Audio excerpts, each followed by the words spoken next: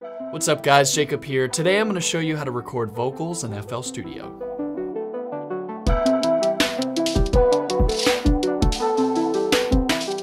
So the first thing you need to do is get set up. You need to get everything plugged in and going. So I've already got my Apollo Twin interface hooked up. Now some interfaces, you don't need to have a separate power cord for them. They'll be powered by USB and also connect to your computer all with one cord. This one does need a plug, so I've already got it all plugged in and lined up.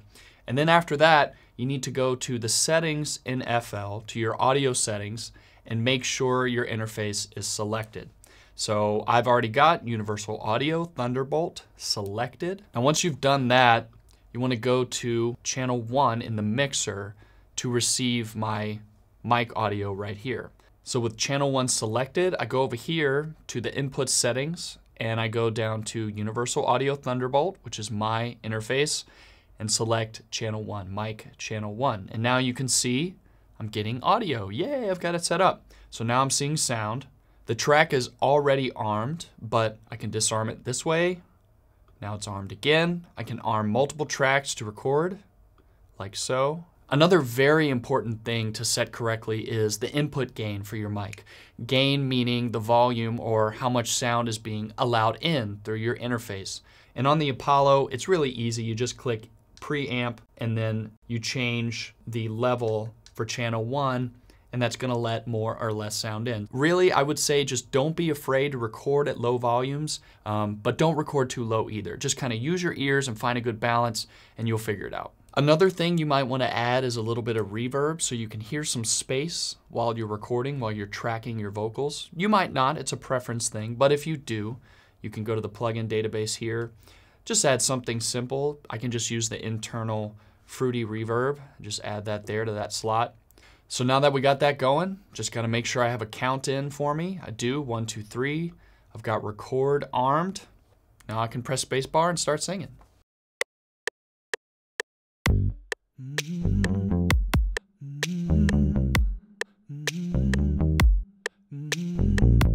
Never, never, never, never, never, never, never, never, never, you never, never, you never, never, you never, never, bet you never, never, you never. It's cool, I'm digging it. Now let's say this was multiple takes of the same section and I wanted to mute some of the other takes, maybe try to find the best one. I can do that. I can use the mute tool and let's say I want to just listen to track one or solo track two. Never, never, never. I can also drag these around in a lot of different ways. Of course, I can move them across the project. If I come down to the end of the window here and drag this way. Now I'm actually resampling it and changing the speed of it. I really like that. That's one of the things that makes FL cool is once you've recorded audio, you don't need to like, you know, turn time stretching on or something. It's literally already ready to go. So right after I've recorded, I can just start manipulating that audio and getting creative. Now, if I did want to keep all three tracks because I do like the layer. I actually think, you know, if I was going to turn this into a full song, I'd probably do that because I do like those three vocal parts together. And obviously, you know, I kind of purposely did it that way.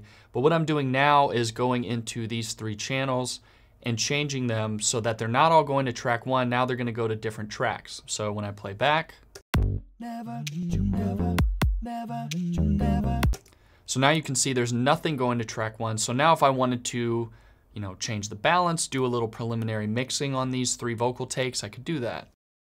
Never, never, never, never, never, never, never. Something like that. Obviously, this isn't a final track or anything, so I'm not going to go super far into mixing and going farther than this point of just tracking the vocals. But, you know, there are a couple things you might want to do right off the bat. Something you'll do that's kind of a rule of thumb is do a little preliminary EQing for your vocal, most likely taking a lot of the low end out because you don't want that competing with your bass or your kick. Uh, one of my favorite EQs and just favorite plugins in general, just bundles of great plugins, is FabFilter.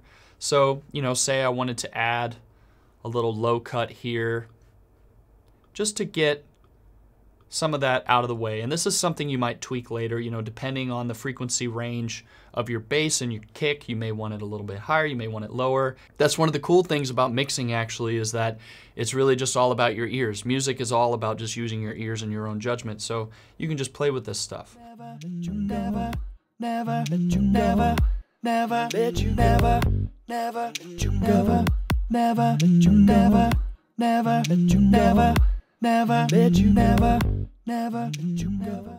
So just a little review of the gear that I've used in this video. I've got an AKG C414, great mic.